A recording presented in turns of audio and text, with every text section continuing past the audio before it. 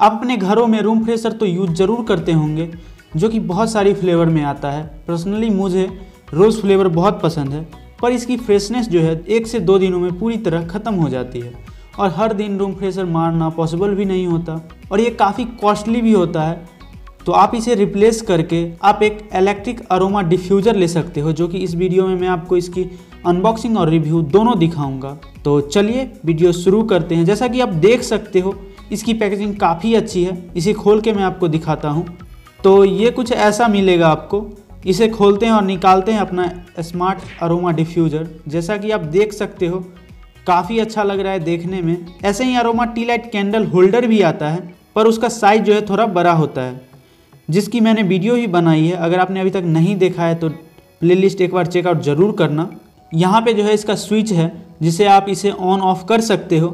और ये एक थ्री पिन प्लग है। बात करते हैं इसके डायमेंशन की तो ये एट इंटू ट्वेल्व है, जो कि आप देख सकते हो, काफ़ी अच्छा भी लग रहा है देखने में और एट्रैक्टिव है। और इसे आप एक नाइट लैम्प की तरह भी यूज़ कर सकते हो।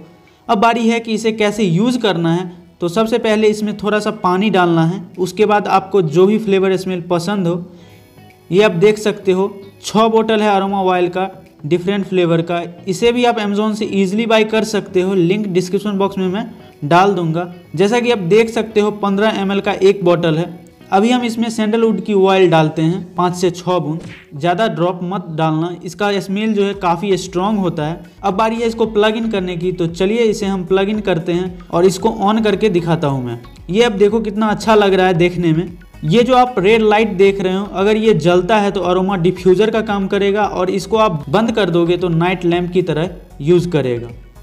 चार से पाँच मिनट में ये आपके पूरे रूम को पूरी तरह सुगंधित बना देता है। मुझे तो ये रूम फ्रेशर से ज़्यादा अच्छा लगा। ये जो है, एक तरीके का नेचुरल स्मेल होता है, पर रूम फ्रेशर में कुछ ना कुछ केमिकल का तो यूज़ किया ही जाता है। और बहुत सारे लोगों को रूम फ्रेशर से एलर्जी भी होती है, पर इससे आपको कोई प्रॉब्लम नहीं होगी।